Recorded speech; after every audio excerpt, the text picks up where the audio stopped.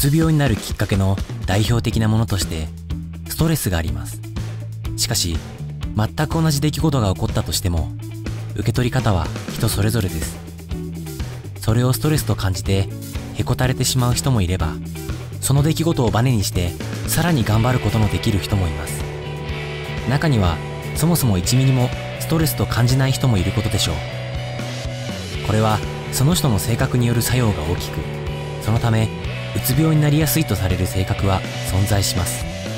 それではうつ病になりやすい性格の人はうつ病にならないためにどのような点を注意すればいいのでしょうか。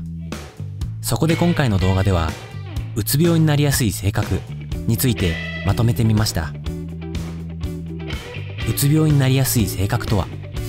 もしもこの症状が出たら要注意。うつ病になりやすい性格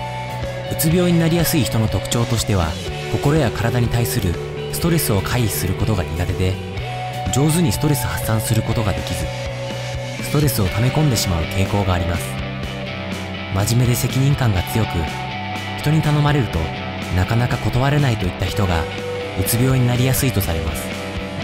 社会に出れば真面目で責任感があることは社会人として一般的に求められる性質ではありますがその中でもうつ病になってしまう人はこの性格が人に比べて強い傾向があり他人への気配りや仕事に対して過剰なエネルギーを使ってしまうのです。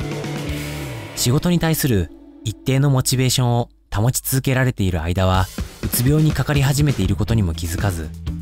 仕事の成果が出せなくなったり疲れが抜けなくなったりすることをきっかけにうつ病を発病してしまうのです。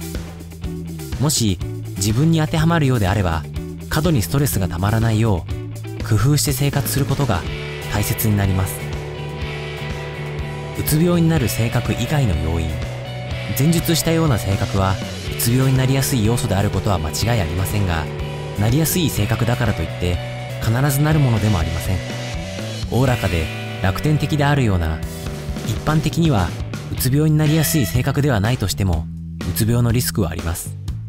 心身の負担となるストレスは人間関係や仕事だけだとは限りません。例えば進学や就職引っ越しなどの身の回りの環境の変化は新しい環境への不安が大きくなりがちです。男女でうつ病になりやすいのはどちら？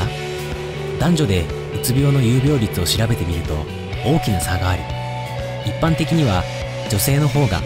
男性よりも2倍も有病率が高いとされています。これは脳科学的な問題でエストロゲンという女性ホルモンの分泌の減少がうつを引き起こす直接の原因となります。エストロゲンは人の感情気持ちを高めるセレトニンという脳内物質に作用するホルモンです。つまり生理や妊娠閉経などでエストロゲンが減少するとセレトニンも減少し抑うつ的な気持ちを引き起こしてしまうということです。しかし一方で男性にうつ病が少ないのにはとある事情があります。というのも男性は実際にうつ病になっても病院を受診しない人が多いとされています。男性に比べると女性は共感力が高い傾向があり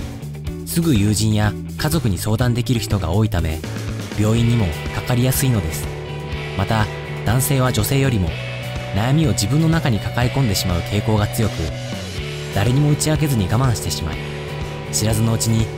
つ病を悪化させてしまうケースが多いのです。つまり男性はうつが少ないというよりもうつと診断される人が少ないと言えるのです。いかがでしたでしょうか？いずれにしても悪化させてしまう前に早めに医療機関に相談することが大切です。